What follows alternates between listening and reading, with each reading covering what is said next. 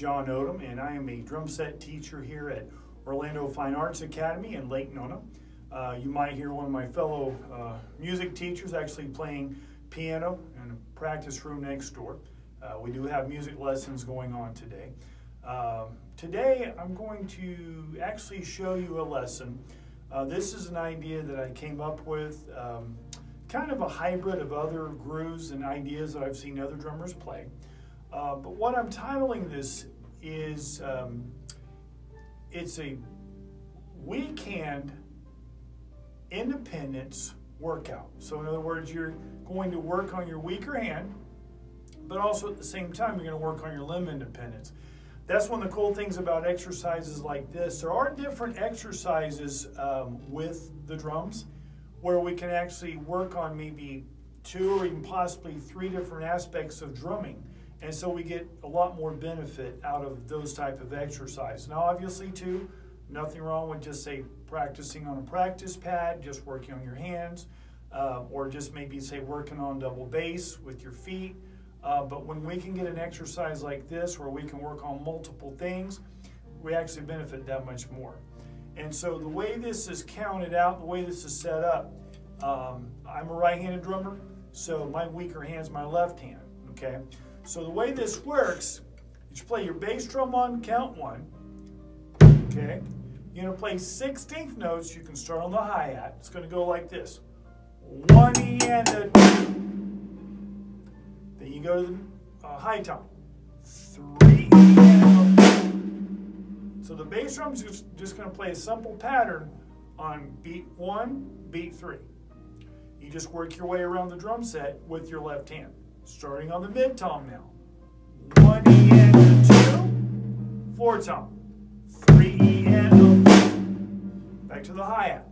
One E and a two, three E and a four, one E and a two, three E and a so on and so forth, okay? Now you can certainly add cymbals if you want to in there, okay? Um, but that's the basic starting pattern for this idea. Okay?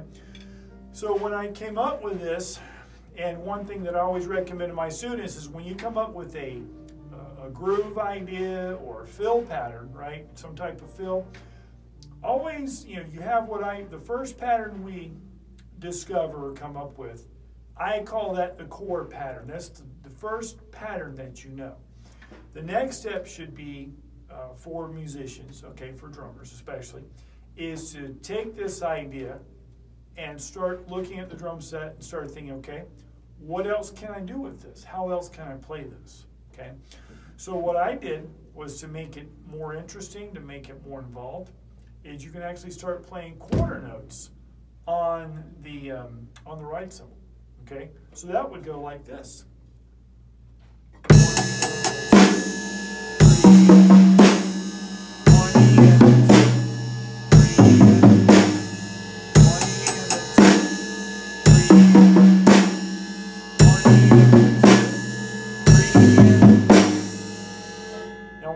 Right hand, when you start playing quarter notes on the ride cymbal, okay, now you're, now you're actually playing what is known as a polyrhythm.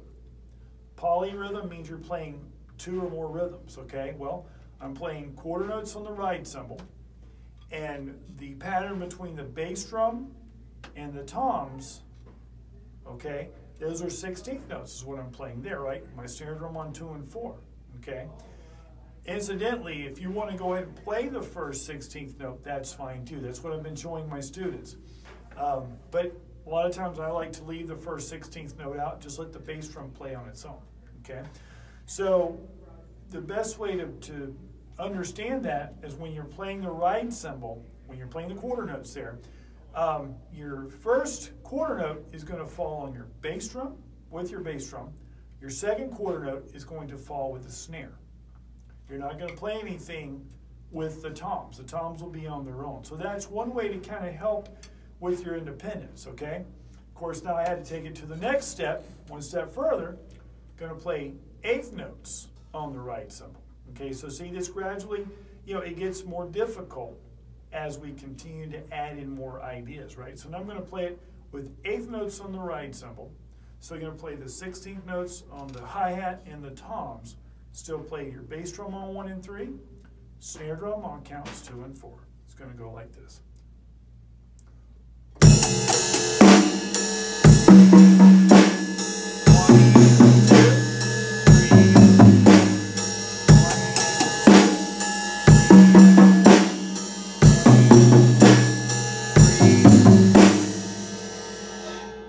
So that starts, start, definitely starts to require more thinking, okay? Now, I learned this from, uh, actually from Steve Smith and from Peter Erskine. Uh, a lot of times when you're playing a pattern like this that requires independence, if at all possible, if you can put one limb on automatic pilot, meaning if you can put, you know, my recommend the ride cymbal here, okay?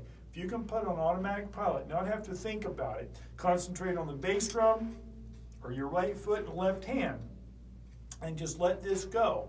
It does make this pattern easier to play. You really have to pay attention to how the eighth notes are tying in with the 16th note that you're playing around the drum set. Okay, so definitely, you know, somewhat difficult to play, but with practice, um, you know, I learned it. Took some time, okay, but if you if you can just really focus and just take your time with it, you can build it up. So I had to take it one more step. I said, well, what else can I add to this? Well, I actually added hi-hat with my left foot on quarter notes. Now, hi-hat with the, uh, if you play the hi-hat with your left foot with quarter notes, just like when we played the ride cymbal with the quarter notes, your hi-hat is going to come in on the bass drum and the snare drum, okay? That's where it's going to come in. Not going to play it with any of the toms. So that's going to be played like this.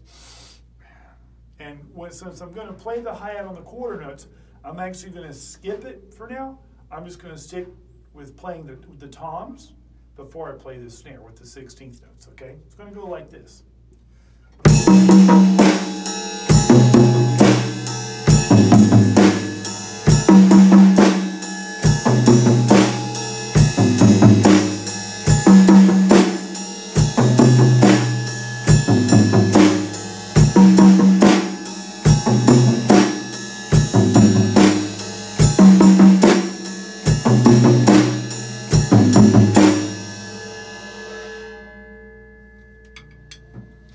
Now, when I first started learning this pattern, one thing I noticed is I was playing my ride cymbal way too loud.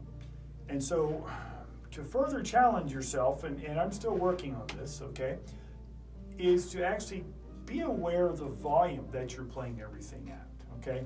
So there's also, along with limb independence with playing drums, there's also such a thing called uh, dynamic independence, and that's where we have the different, the volumes of the different voices, where we can actually change those, okay? So um, I hope you enjoy this video. I think it's a pretty cool workout pattern. Uh, now there are other things you can do with this to add to it. Um, you can play quarter notes on the bass drum if you want. Um, I've actually practiced it to where, um, I'll show you this pattern, where you play eighth notes on the hi-hat with your foot, quarter notes with the ride cymbal, okay? Still playing the 16th notes with between the toms and the snare. Gonna be something like this.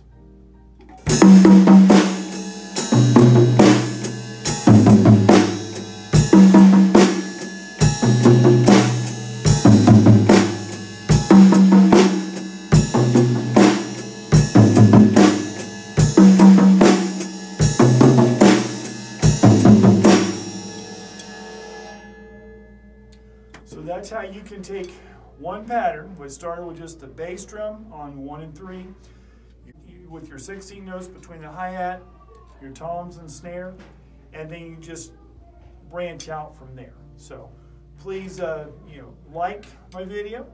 Please feel free to subscribe to my YouTube channel. I will be adding more lessons in the future.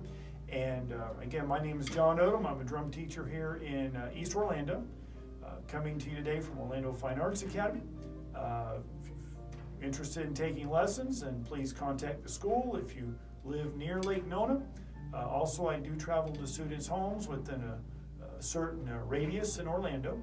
So please feel free to contact me. Thanks for watching. Happy drumming. Have a great day.